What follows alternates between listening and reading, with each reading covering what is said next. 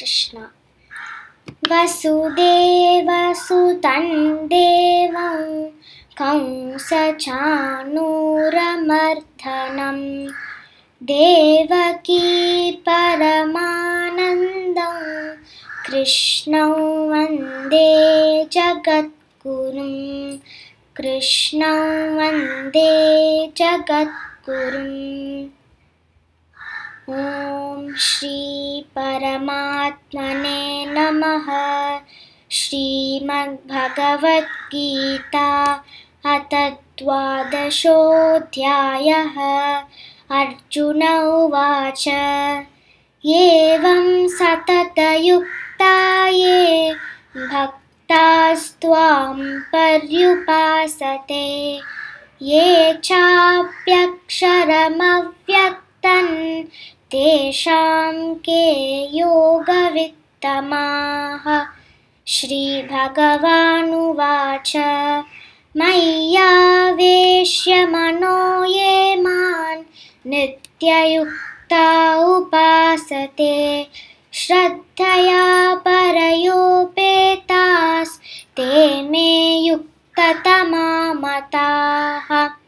ये त्वक्षरमनिर्देश्यम् अव्यक्तं पर्युपासते सर्वत्र गमचिन्त्यं च कूटस्थमचलं ध्रुवं सन्नियम्येन्द्रियक्रामं सर्वत्र समबुद्धयः ते प्राप्नुवन्ति मामेव सर्वभूतहिते रताः क्लेशोऽधिकतरस्तेषाम् अव्यक्तासक्तचेतसाम् अव्यक्ता हि गतिर्दुःखं देहवद्भिरवाप्यते।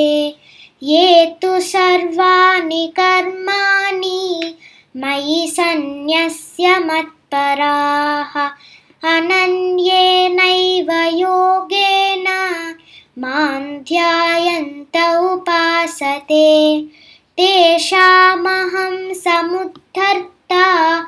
मृत्युसंसारसागरात्। भवामि न चिरात् पार्थ।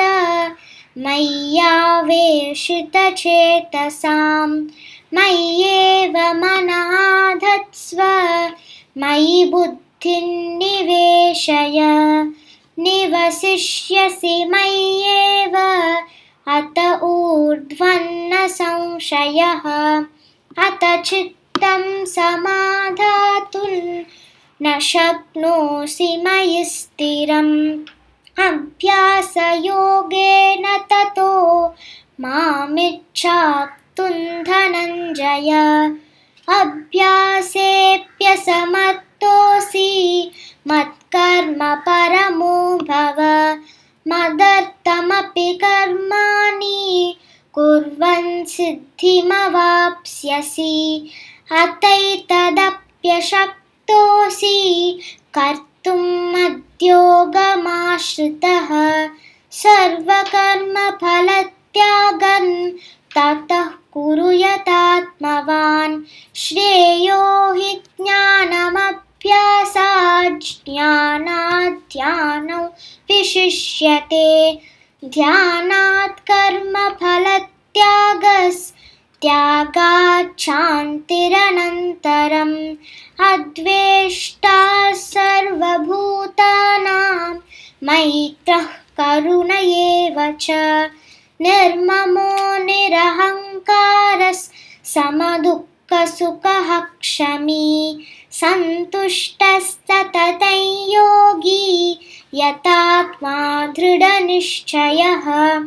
मय्यर्पितमनो बुद्धिर्यो मद्भक्तः स मे प्रियः। यस्मान्नो द्विजते लोको लोकान्नो द्विजते च यः हर्षामर्षभयोद्वेगैर्मुक्तो यः स च मे प्रियः।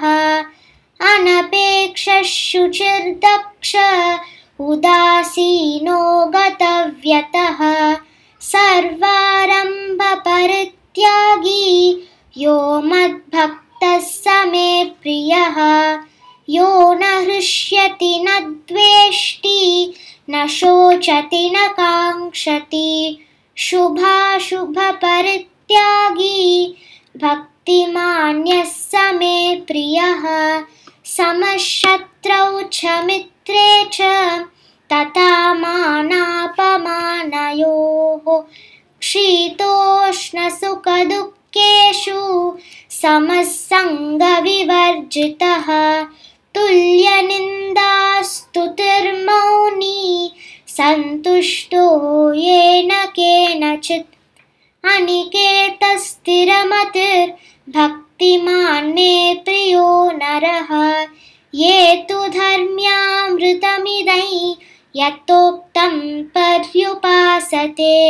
श्रद्धधानामत्परमा भक्तास्तेतीव मे प्रियाः। ॐ तत्सति श्रीमद्भगवद्गीतासु उपनिषत्सु ब्रह्मविद्यायां योगशास्त्रे श्रीकृष्णार्जुनसंवादे भक्तियोगो नाम द्वादशोऽध्यायः। ॐ श्रीकृष्णार्पणमस्तु। योगेशं सच्चिदानन्दं वासुदेवं व्रजप्रियं धर्मसंस्थापकं वीरं कृष्णं वन्दे जगद्गुरुं कृष्णं वन्दे जगद्गुरुं जय श्रीकृष्ण